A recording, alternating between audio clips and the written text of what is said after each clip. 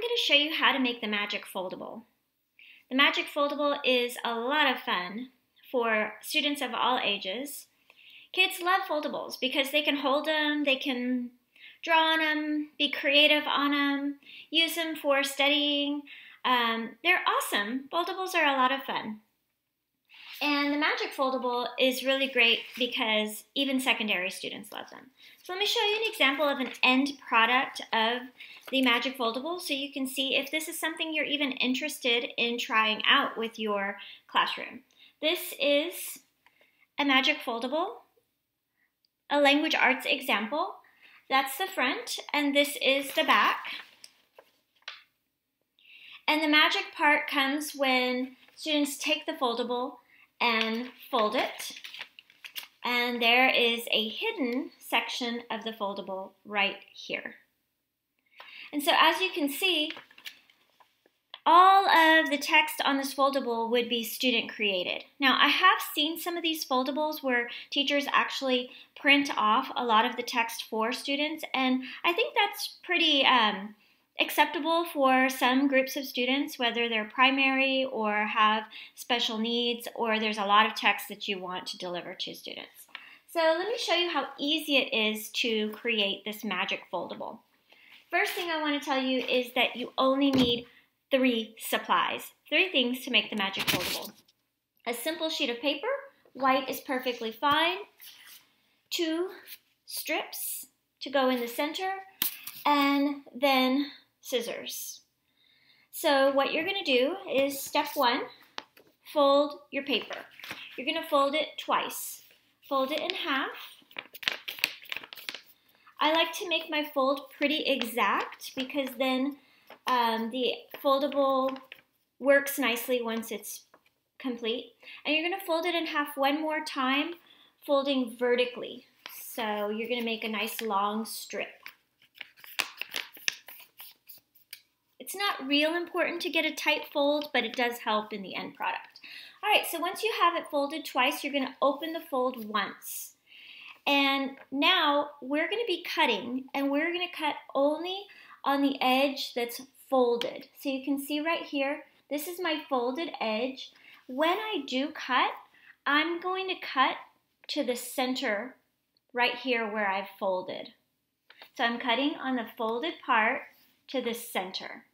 And I could cut just twice, I could cut three times, I could even cut four times if I wanted to. The more cuts I make, the more sections my students will have to write in. So it's up to you, depending on how much information you have for your students to write, that's how many cuts you want to make. Now you might be thinking, well, my kids can't do this. This sounds too difficult for them. For primary so, grades or students with special needs, you may want to make these foldables for them or get parent volunteers to make them. For older kids in secondary, you could definitely do this with them step by step, explicitly teaching them how to make the foldable. So remember, I'm cutting on the folded side and I'm going to the center just to the center and I can cut as many times as I need.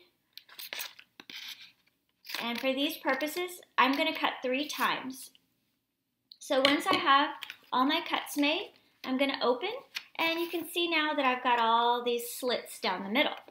Now I'm going to take my two strips of paper and I'm going to weave them through.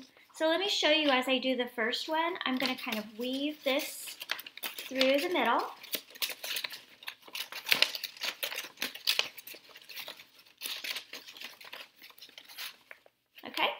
And my second one, I'm going to weave it also, but it's going to be the opposite way. So, so there it is. That didn't take long at all, right?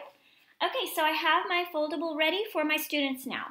Along the edges, I like to put like really important information, um, you know, basic information that they don't need to match. And then in the middle, I like to put matching information like um, the problem of the story and then they write the problem, or a word and a definition, or um, the word and a picture. So my students have to match. Um, and then remember, the magic is in folding it this way and then opening it in the center. And that took me a while to figure out. It was kind of tricky for me. I think for students it's more intuitive, but for me it took me a little bit longer. Okay, so this is an example. And this was the finished product that I showed you. And notice like this one, I've got main character, problem setting in the beginning, in the end, so on. And if you want to see what I have in my magic part, I've got the lesson, something I wonder, and so on. Some kids love color, so if you've got a lot of colored paper and you want to use that, this is nice for those students who need the color. This is an example that has more slits in it.